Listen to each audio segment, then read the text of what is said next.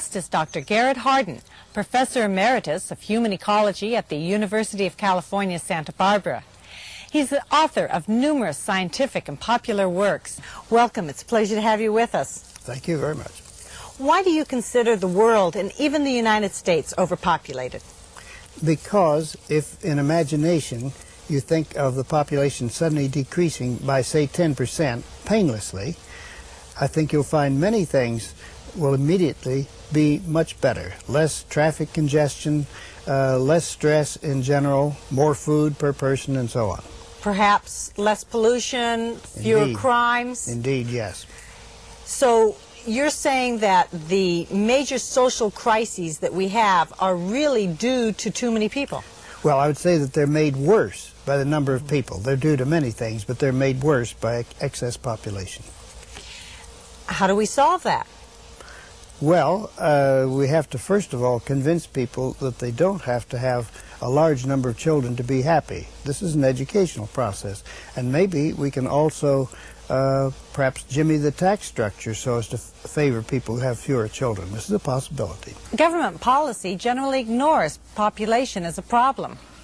Or, worse yet, many governments actually try to encourage the production of more people. This is partly a leftover from earlier days when cannon fodder meant strength. The more young people you had, the more uh, army, larger the army that you had, and the better off you were. This is no longer true.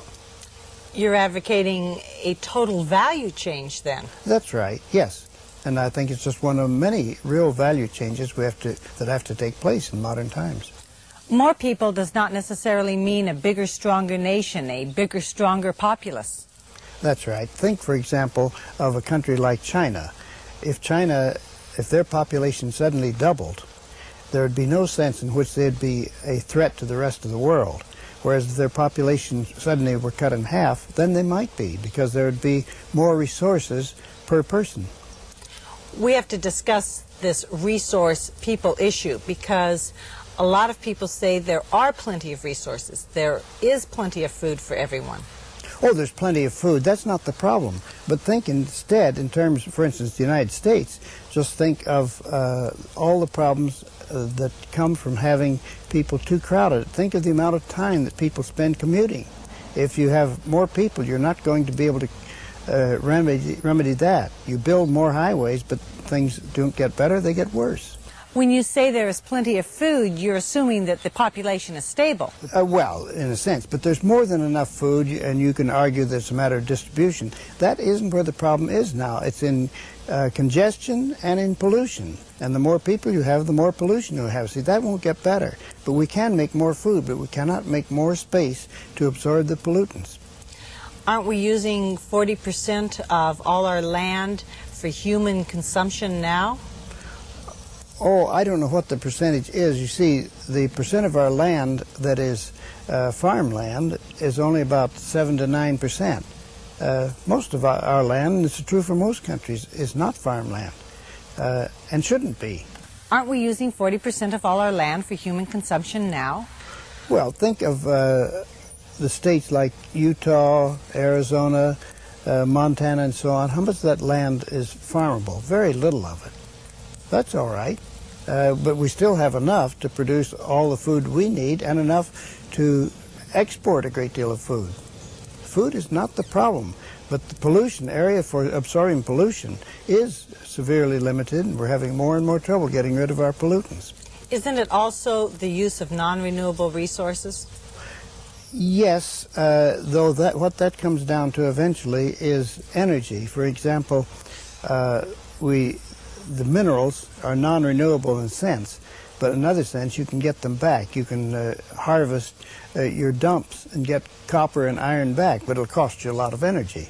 So we're not going to run out of copper or iron, but it'll take more and more energy to get it back into shape, to recycle it. Depends on what kind of energy we use. Energy is going to be limiting in any case. Coal and oil are being exploded at such a rate that in about 200 years there might not be any left. That's right.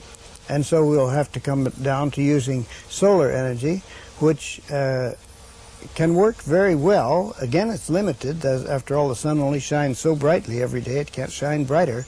Uh, but we have a lot there, but it'll take a tremendous capital investment to gather that solar energy so that we can use it.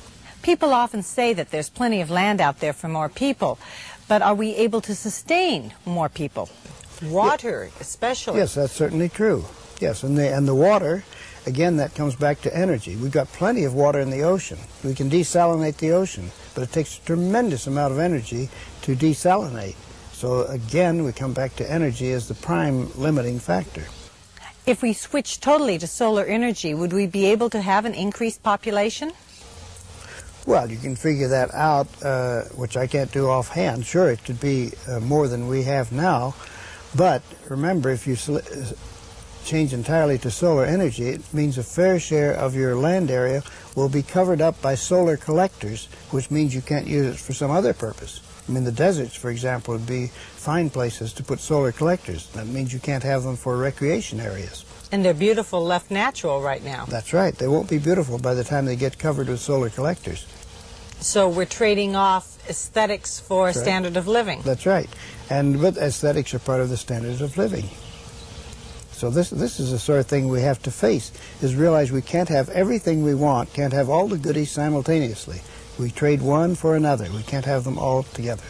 What would be your vision of a world that is ecological?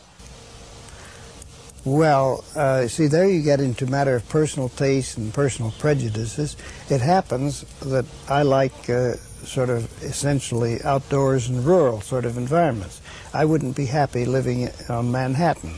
I've been there frequently and so on, but I don't want to live there. I don't think anybody should live there. But there are many people who are petrified when they get out in a wilderness area. They think, oh, what a terrible place to be. Uh, so there are differences of opinion, but I suppose what one has to say in general is we ought to have the option of wilderness areas and wild areas for those people who want it. And the more population we have, the greater the population, the smaller percentage can even have that option. What is the actual carrying capacity of the land? The carrying capacity has to be determined by your standard of living. This is why I often speak of the cultural carrying capacity. And I can put this easiest, at least easiest to see in terms of energy. Uh, it takes about 2,300 calories per person per day just to live. Nothing more than live and do a mild amount of work, but not have anything else to speak of. Americans, as a matter of fact, use 100 times that much. 100 times 2,300, 230,000 kilocalories per person per day.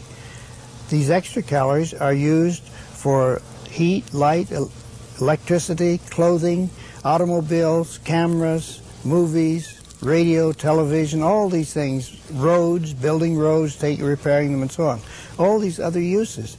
Well, if we give up many of those uses, then the carrying capacity increases.